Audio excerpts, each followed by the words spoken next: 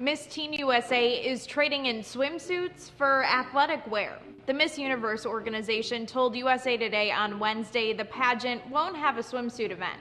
Instead, contestants between 14 and 19 years old will participate in an athletic wear competition. Miss Universe President Paula Shugart said the decision reflects an important cultural shift we're all celebrating that empowers women who lead active, purposeful lives and encourage those in their communities to do the same. And the current Miss Teen USA, who plays softball and dances, echoed the statement.